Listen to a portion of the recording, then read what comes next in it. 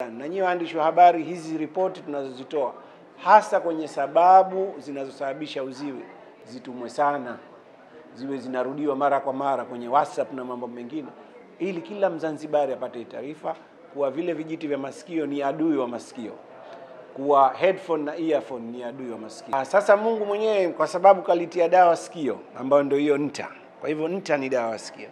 Sasa mtu akiitoa ndio wale tunaosema itakuwa ile dawa aliweka Mungu kuwazuia fungus wasiote sikioni, wewe umeitoa. Kwa hivyo ndio maana unaanza kufanya fungus.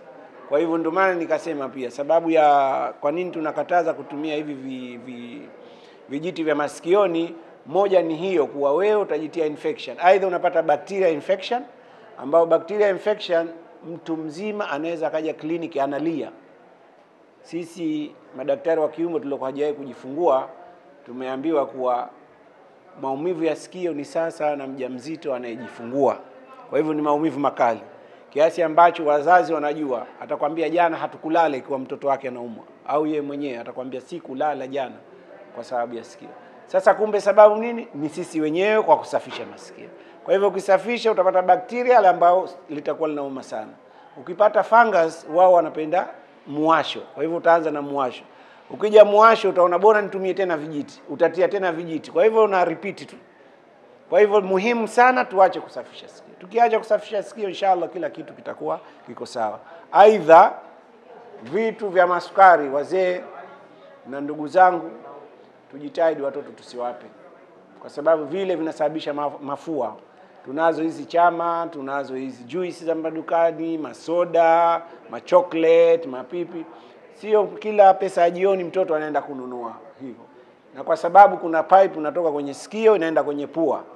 Kwa hivyo mtoto akipata mafua, mafua yanaishia sikioni, yakishia sikioni anafanya jipu, ndio anaanza kutoka usaha.